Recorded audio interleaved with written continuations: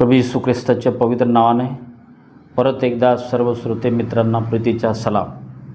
याकोबाच्या पत्राचे निरंतर अध्ययन आपण करत आहोत. आतापर्यंत चौथा अध्याय आपण सुरू केला आणि चौथ्या अध्यायातील पहिलं वचन पक्ष कलहाबद्दल सूचना. आपल्या रूपरेखेप्रमाणे मुख्य मुद्दा आपण घेतलेला आहे. चौथा मुख्य मुद्दा संसारिकतेविषयी फटकार. व आज्ञा. या मुख्य मुद्द्यात पहिला मुद्दा आपण चौथ्या अध्यायाच्या पहिल्या वचनाद्वारे अभ्यासला आहे आणि त्या उपमुद्द्याचं नाव होतं विभाजनाविषयी फटकार. आता दुसरा उपमुद्दा आपण अभ्यासत आहोत आणि दुसऱ्या उपमुद्द्याचं नाव आहे अयोग्य प्रकारे मागण्याविषयीची फटकार. अयोग्य प्रकारे मागण्याविषयीची फटकार. अर्थात तुम्ही अयोग्य प्रकारे प्रार्थना करतात. आणि हा अयोग्य प्रकारे प्रार्थना करण्याचं बंद करावं यासाठी एक उपदेश सूचना किंवा फटकार याकोब या ठिकाणी त्यावेळेस या बारा वंशाच्या पांगलेल्या लोकांना आज हे वचन आपल्यासाठी आहे. मी चौथा अध्याय दोन आणि तीन वचन वाचतो. प्रार्थना करू आणि मग या मुद्द्यावर आपण मनन चिंतन करण्याचा प्रयत्न करू. याकोबाचे पत्र चौथा अध्याय दुसरं आणि तिसरं वचन. तुम्ही इच्छा धरता तरी तुम्हास प्राप्त होत नाही. तुम्ही घात व हेवा करता तरी हवे ते मिळण्यास तुम्ही समर्थ नाही. तुम्ही भांडता व लढता तुम्ही मागत नाही म्हणून तुम्हाला प्राप्त होत नाही. तुम्ही मागता परंतु तुम्हास मिळत नाही कारण तुम्ही अयोग्य प्रकारे मागता. म्हणजे आपल्या चैनीकरता खर्चावे म्हणून मागता. प्रार्थना करू. पवित्र पित्या यावेळेस आम्ही तुझी स्तुती करतो. प्रभू यीशू ख्रिस्ताच्या नावाने आम्ही तुझ्या पवित्र पायापाशी आहोत. प्रभुदेवा याकोबाच्या पत्राचे चौथ्या अध्यायाचे अध्ययन आम्ही सुरू केलेलं आहे. परत एकदा ही दोन वचनं वाचलेली आहे. मी आणि आमचे श्रोते मित्र तुझ्याकडून हे वचन आम्हाला उलगडून मिळावं. तुझ्या आत्म्याद्वारे यासाठी आम्ही प्रार्थना करत आहोत. या वचनाद्वारे आम्हाला आशीर्वादित कर आणि त्याप्रमाणे आचरण करण्यासाठी शक्ती दे. आमच्या आचरणाने प्रभू तुझे गौरव व्हावे. असली कृपा दे. येशूच्या पवित्र नावाने मागतो पित्या. आमेन. बरं चौथा अध्याय आपण सुरू केलेला आहे. दोन आणि तीन वचनं मी तुमच्यासमोर वाचलेली आहेत. आणि अयोग्य प्रकारे मागण्याविषयी एक उपदेश एक सूचना एक फटकार याकोबाने दिलेला आहे. अनेकदा आपण प्रार्थना करतो आणि प्रार्थना करून अपेक्षा करतो की परमेश्वराने माझी प्रार्थना ऐकायला पाहिजे. देवाने आपल्याला स्पष्ट सांगितलं आहे तू योग्य ते मागशील तर मिळेल वचन आहे मागा तर मिळेल याचा अर्थ कोणतेही मागणे मागल्या मागितल्याने देव देणार नाही. त्याला योग्य ते आणि आपल्यासाठी कोणतं योग्य आहे हे परमेश्वराला माहिती आहे. म्हणून परमेश्वर योग्य वेळी योग्य पद्धतीने केलेली प्रार्थना स्वीकार करतो आणि देव योग्य वेळी आपल्याला उत्तर देत असतात. इथं मागण्याविषयी प्रार्थना करण्याविषयी जो अयोग्य प्रकार आहे तो कोणता कोणता अयोग्य प्रकारात कोणत्या कोणत्या गोष्टी सामावलेल्या आहेत त्या गोष्टी बघण्याचा आपण प्रयत्न करू. तत्पूर्वी एक सूचना रूपाने सांगतो. माझ्या प्रिय बंधूंनी अठरा वर्ष मला सेवेत होत आहे. अनेक प्रार्थना केल्या अनेकांसाठी प्रार्थना केल्या स्वतःसाठी प्रार्थना केल्या कुटुंबासाठी प्रार्थना केल्या. पण एक अनुभव सांगतो. ज्या प्रार्थना आपण योग्य प्रकारे केलेली आहे त्याच प्रार्थना परमेश्वर ऐकतो. त्यांचेच उत्तर देव आपल्याला देतो. म्हणून आपण प्रार्थना करताना अज्ञानीसारखे प्रार्थना करू नये. परमेश्वराचे वचन आपल्याला मागण्याबद्दल अर्थात प्रार्थनेबद्दल काय शिकवत आहे हा प्रार्थनेचा विषय व्यवस्थित समजून घेऊन परमेश्वराला काय आवडतं ते समजून घेऊन त्याप्रमाणे जर व्यवस्थित आपण लीन आणि नम्रतेने देवाजवळ मागितलं तर आपल्याला देव कधीही नकार देणार नाही. तो आपली प्रार्थना स्वीकारतो. उत्तर देतो. आणि म्हणून त्याने म्हटलं तू मागेल तू मागणार तर तुला मिळेल. तू ठोकलं तर उघडलं जाईल. शोधलं तर तुला सापडेल. ह्या गोष्टी प्रभूने सांगितलेल्या आहे आणि म्हणून आज आपण योग्य प्रकारे कसं मागावं? अयोग्य प्रकारे कसं मागितलं जातं आणि ते देव ऐकत नाही? योग्य प्रकार काय आहे? त्याच्याविषयी थोडक्यात समजण्याचा प्रयत्न करूया. इथं आपण वचन वाचलेलं आहे. तुम्ही ज्यावेळेस मागता ना ज्यावेळेस तुम्ही प्रार्थना करता त्यावेळेस तुमच्या इच्छा शुद्ध आहेत काय?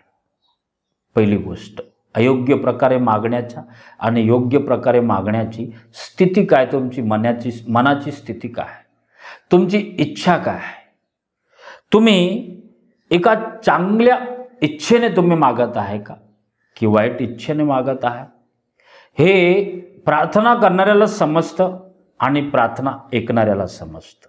म्हणजेच आपण कोणत्या इच्छेने प्रार्थनेत प्रार्थनेत देवाकडून मागत आहे हे प्रार्थना करणाऱ्या भक्ताला समजतं आणि देवपित्याला समजतं म्हणजेच परमेश्वराला समजतं. म्हणून मनात आपली वाईट इच्छा असेल आणि परमेश्वराकडून आपण प्राप्त करून जर वाईट कार्य करणार असणार तर देव कधीच आपली प्रार्थना ऐकणार नाही. कधीच ऐकणार नाही. त्याचं उत्तरच आपल्याला मिळणार नाही. परंतु मनाची इच्छा ही वाईट नाही शुद्ध इच्छा आहे. मनात एक चांगली इच्छा इच्छा आहे. आणि ती इच्छा देवाला आवडलेली आहे की आपल्या मागण्यात वाईट इच्छा नाही. तर परमेश्वर आपली प्रार्थना निश्चितच ऐकणार. पण जर आपण आपल्या प्रार्थनेमध्ये मागण्याची जे आपण मागत आहोत प प्रभूकडे त्याचा उद्देश जर वेगळा असेल इच्छा जर आपली वाईट असेल तर परमेश्वर कदापि आपली प्रार्थना ऐकणार नाही. म्हणून इथं याकोब म्हणते की तुम्ही अयोग्य प्रकारे मागत आहात. तुम्ही जेव्हा मागता ना तेव्हा तुमची इच्छा वाईट असते म्हणून तुम्हाला प्राप्त होत नाही. माझ्या प्रिय मित्रांनो परत परत सांगतो स्वच्छ निर्मल आणि देवल देवाला आवडणाऱ्या इच्छेने आपण मागून बघा. निश्चितच आपला परमेश्वर आपली प्रार्थना ऐकतो. दुसरा अयोग्य प्रकार इथं म्हटलं आहे तुम्ही घात व हेवा करतात म्हणून तुम्हाला हवे ते मिळतच नाही. तुम्ही घात करतात.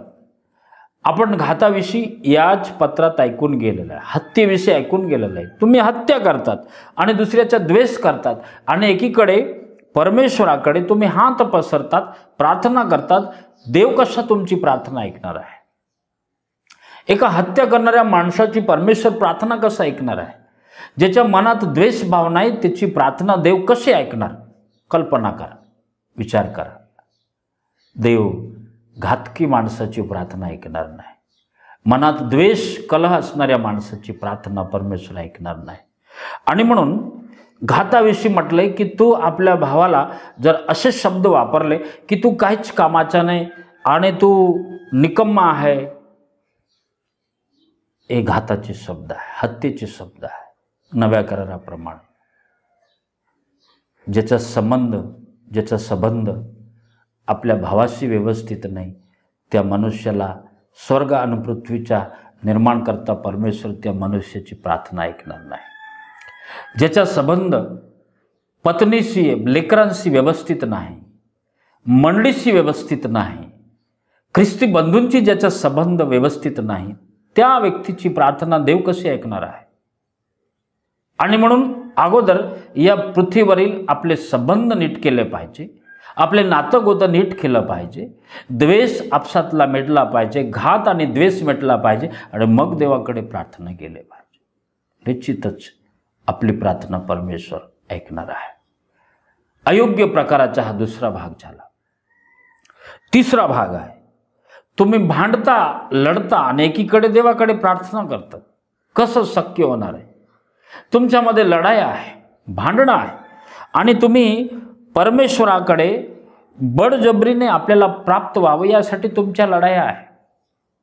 ख्रिस्ती माणसात आजपर्यंत ख्रिस्ती इतिहासात जेवढ्या लढायांनी भांडणं आहे त्या स्वार्थासाठी आहे. पदासाठी आहे पैशासाठी आहे. ही भांडणं आताच आपण मागच्या मुद्द्यात बघत होतो की ही भांडणं आध्यात्मिक नाही पक्षकल तुमच्या आध्यात्मिक नाही.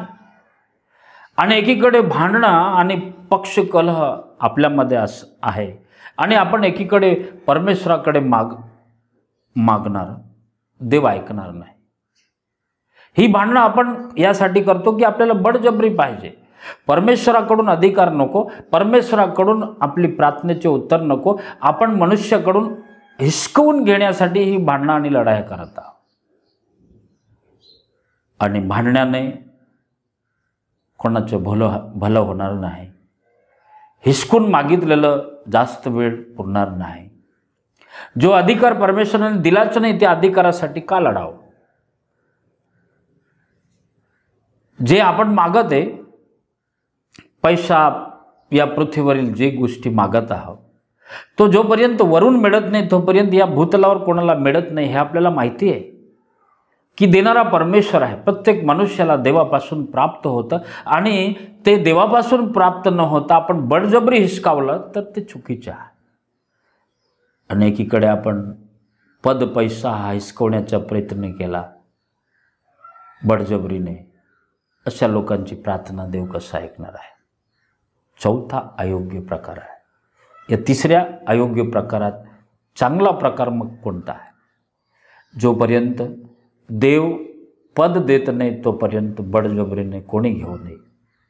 जोपर्यंत परमेश्वर आपल्याला लायकी देत नाही या पृथ्वीवरील कोणत्याही गोष्टीसाठी आर्थिक गोष्ट असो कोणतीही गोष्ट असो तोपर्यंत देवाजवळ मागत राहणे बडजबरीने पद आणि पैसा जगातील कोणतीही गोष्ट कोणी हिसकवण्याचा प्रयत्न करू नये आणि आपल्या वाईट बुद्धीचा उपयोग देखील करू नये.